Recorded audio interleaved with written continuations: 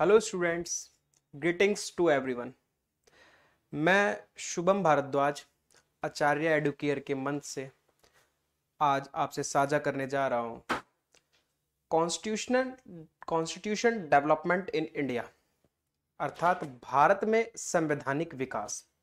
भाई, भारत में संवैधानिक विकास हुआ, इसको तो जान सकते हैं। लेकिन उससे पहले जानना ज़रूरी यह है कि संविधान होता क्या है? संविधान एक ऐसी प्रति है जो हमें मदद करता है अपने अधिकारों को जानने में एवं सरकार की सीमाओं को पहचानने में। Means constitution is a kind of draft which help us to know the limit of the government and to know the right of own self भाई, संविधान बनने की जो प्रक्रिया है, आप जानते हैं?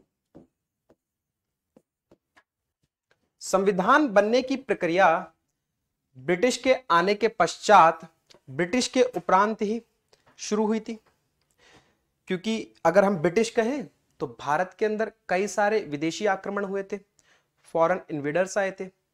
सन सात सौ सैंतालीस में मोहम्मद बिन कासिम आए, उनके पश्चात गजनी आए उनके पश्चात गौहरी आए और फिर पुर्तगाली। मतलब एक तरफ़ इस्लामिक इन्वेडर थे और एक तरफ़ क्रिश्चियनिटी वाले, अर्थात एक तरफ़ यूरोप वाले। भाई, यूरोप वाले एक्चुअली में यूरोप वाले जो आए थे, वो इसलिए आए थे भारत में क्योंकि यूरोप और जो आपका तुर्क के करीब के देश हैं, दोनों एक मध्य, दोनों के मध्य अलग अलग एक विभाजन हो गया था। विभाजन हुआ था धर्म को लेकर के। धर्म को लेकर के विभाजन हुआ, दोनों के मध्य युद्ध हुआ और यूरोप की ज्योग्राफी आप जानते ही हैं, काफ़ी ठंडी ज्योग्राफी है। और जो हमारा सिल्क रूट है, सिल्क रूट के माध्यम से सिल्क भारत के मसाले यूरोप तक पहुँचा करते थे। यूरोप तक पहुँच, यूरोप वालों को इसलिए ज़रूरत थी हमारे मसालों की, क्योंकि उनकी ज्योग्राफी ठंडी है, अपने आप को गर्म रखने के लिए उन्हें चाहिए भारत के मसाले। और जब तुर्क, अर्थात ऑटमन साम्राज्य कहें वहाँ पर युद्ध हो गया तो उन्होंने सिल्क रूट के माध्यम से जाने वाले मसालों को, यूरोप वासियों को देने से इनकार कर दिया।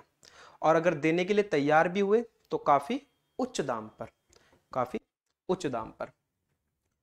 अब यूरोप के जो देश हैं, यूरोप के देश के मध्य होड़ लग गई कि हमें जाना है भारत। तो पहली बार पुर्तगाली भारत आए। और पुर्तगाली के जो भारत आने के लिए सन थी, वो थी 1498 1498 में वास्को डिगामा भारत पहुँचे, उनके पश्चात और भी यूरोपीय आए, उसी में एक थे ब्रिटिश। अब ब्रिटिश का तात्पर्य यह है कि भाई ब्रिटिश साल 1599 में पहुँचे थे मोनार्क के पास। मोनार्क से कहा कि भाई हमें भारत से ट्रेड करना है। और रानी मतलब ब्रिटेन की रानी। ब्रिटेन की रानी ने मना कर दिया। उस समय उनको ट्रेडिंग राइट या फिर चार्टर, रॉयल चार्टर नहीं दिया भारत से व्यापार करने का। भारत से व्यापार करने का रॉयल चार्टर नहीं दिया पंद्रह में। इसके पश्चात अहम भूमिका निभाई साल 1600 में। 1600 में लंदन की एक जगह है Leadenhall Street. Leadenhall street में 24 व्यापारियों का ग्रुप था, समृद्ध व्यापारी थे। वो गए मोनार्क के पास।